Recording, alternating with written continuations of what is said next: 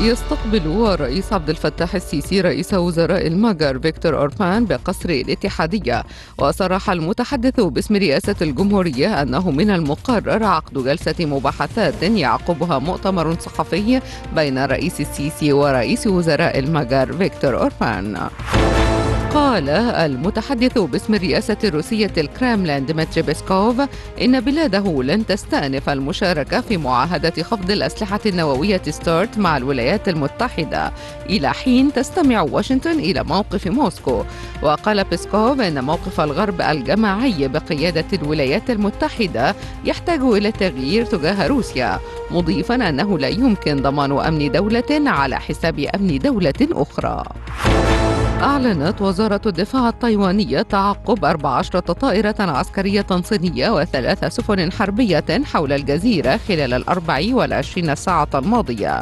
وقالت وزارة الدفاع أنه ردا على ذلك أرسلت تايوان طائرات وسفنا بحرية واستخدمت صواريخ أرضية لمراقبة طائرات وسفن جيش التحرير الشعبي.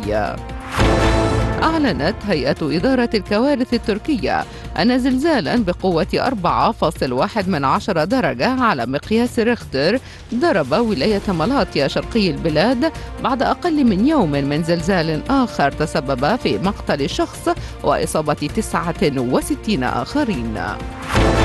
استعرضت وزيرة التعاون الدولي رانيا المشاط مع وفد البرلمان الأوروبي علاقات التعاون الاقتصادي بين مصر والاتحاد الأوروبي مؤكدة أن الاتحاد الأوروبي أحد شركاء التنمية الاستراتيجيين لافتة إلى حرص الدولة المصرية بقيادة الرئيس السيسي على المضي قدما في تطوير الشراكات الدولية مع كافة شركاء التنمية وإقامة علاقات تقوم على أساس دعم جهود التنمية وتلبية أولويات الدولة.